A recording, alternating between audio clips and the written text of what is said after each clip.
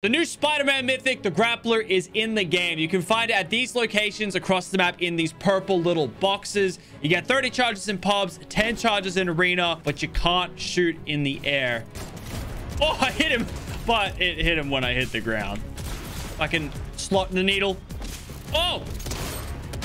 Oh! That was actually clean. Oh, yeah, someone else. Oh, yeah, keep it coming. I'm chasing him. I'm chasing him. I'm chasing him. Oh. Big grapple. Big grapple.